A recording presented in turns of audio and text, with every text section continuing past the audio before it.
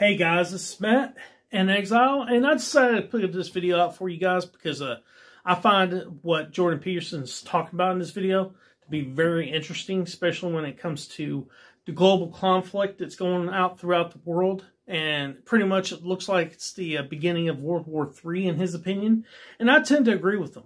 But can we divert it? I don't know. This is something he's talking about with uh, the uh, guy he's interviewing with. He's also talking about anyone who looks at the energy production sector and stuff like that and didn't realize that Russia would have a lot of power with the uh, European Union, with the way they were setting up the uh, energy production, should have known better. They should have known. They should have saw what was going to happen ahead of time. But of course they didn't, and now they're suffering the consequences in Europe. But guys, check out the video. Don't forget, hit like and subscribe. It helps the channel grow. Peace. And the people thought the same thing in World War II. And they thought the same thing in Afghanistan. And so this is a localized Ukraine Russia conflict. Well, first of all, no, it's not. It's a war by proxy of Russia against the entire West. Obviously, now all the world isn't on board with that, but much of the world is, but not all of it. And so, you know, you might say when your sleeve gets caught in an industrial machine, and only an inch of your sleeve is in, you think, well, I've still got my whole arm. It's like, yeah, for the next 10 minutes.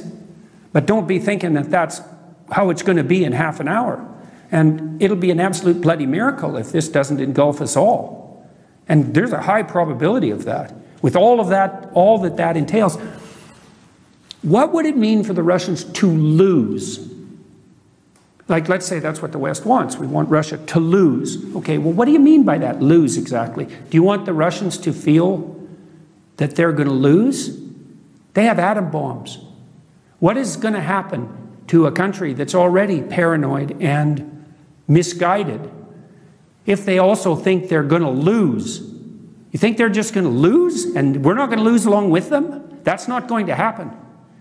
And so we're playing with fire on, and I think I'm, I've written an article uh, called The Civil War in the West because I think what's happening in Russia and Ukraine is a, a civil war in the West. It's just, that's just where it started.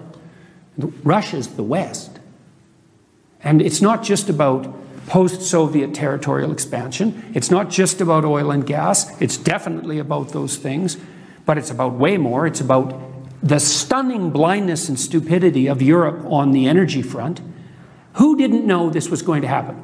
You, who's so blind that they believed that making Europe dependent on Russian oil and gas for environmental reasons wasn't going to produce this?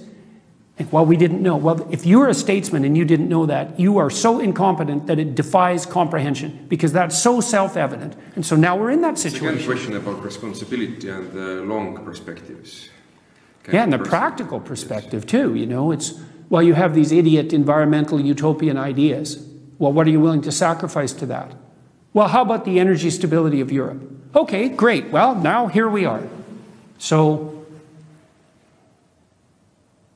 You know, we're dreaming of a planet where there aren't people to be a cancerous growth. Well, enough nuclear exchange and we might just get that. So we're playing with fire. Let's keep our fingers crossed that we can still survive. Yeah, well. Next 100, 500 years as civilization. One year.